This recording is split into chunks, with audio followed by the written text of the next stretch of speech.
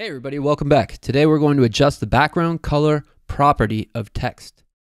Um, so instead of adjusting your overall background or the color of the text to make the foreground easily readable, you can add a background color to the element holding the text you want to emphasize.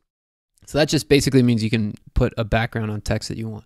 This challenge uses, uh, so they're going to use RGBA instead of hex codes. So instead of just using um, six letters and numbers, they're going to use this RGBA thing, which I don't see in my general world, but it's important to know.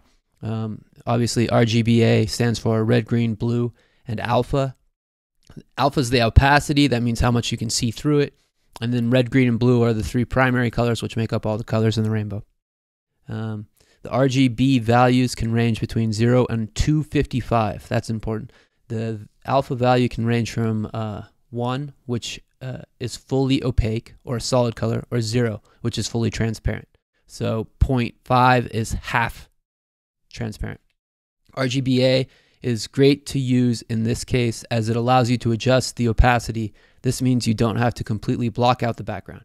You'll use background color. So they give you the background color you're going to use for this, which is 4545.01 or 0.1 um, for this challenge, it produces a dark gray color that is nearly transparent given the low opacity value of 0.1. So it's 10% uh, solid. So it's 90% invisible. Uh, to make the text stand out more, adjust the background color of the H4 element to the given RGB value. So the H4 has no background color right now, so we're just going to write that in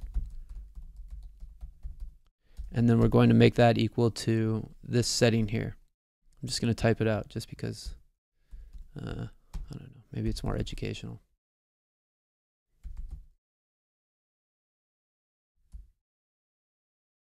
And then with CSS, we always start with the value and then a semicolon and then the set.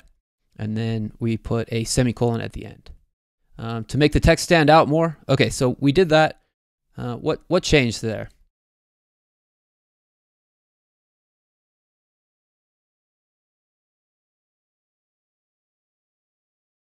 Here is what my mistake was.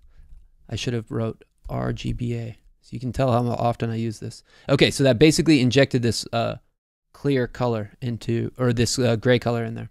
And it produces this gray color. And so now, um, to make the color stand out more, we're going to remove the height property and add a padding property. So they want us to add, uh, remove this height property. So to do that, we'll just get rid of there and you'll see, oh, look at that. Look what happened there. It sort of, uh, it lost some of its height there and the background actually uh, shrunk with it.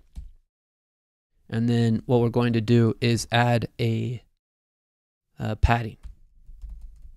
Padding, colon, and then 10px.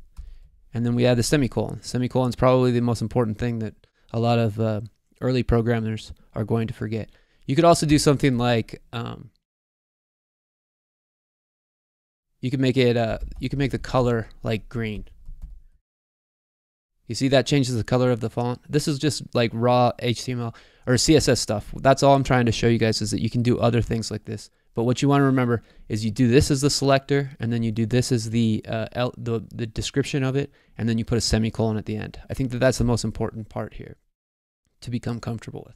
And so i think that this is right and we can run the test great! We've passed Thank you guys for watching. Please give that a thumbs up and subscribe if you think that these videos are useful. We'll see you in the next lesson.